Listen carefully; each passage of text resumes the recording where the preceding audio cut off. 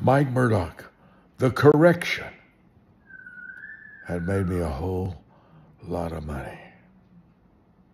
I was 19. The town was Ferriday, Louisiana. The preacher's name was Jimmy Swaggart. His wife was there, Frances. He asked me about my piano playing. Did I play the piano and sing in my revivals? No, no. I said, piano players seem to be sissy. They're too feminine. I don't want anybody to think about my piano playing.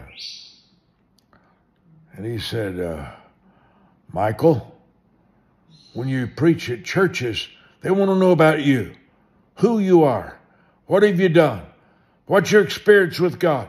Talk about yourself and start playing the piano. He's 12 years older than me. I'll be 78 in April. That means he's right at 90 years old. I didn't want to do that. I want to preach. Turn in your Bibles tonight to John chapter 10. Not play the piano, but I went ahead and started playing the piano. Never saw myself as a singer. I don't have a singer's voice. But I started writing my songs, playing the piano.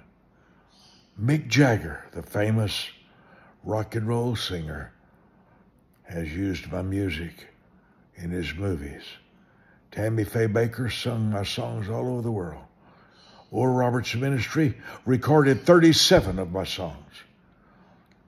I made a lot of money, a lot of royalty checks, big royalty checks, because one man corrected me.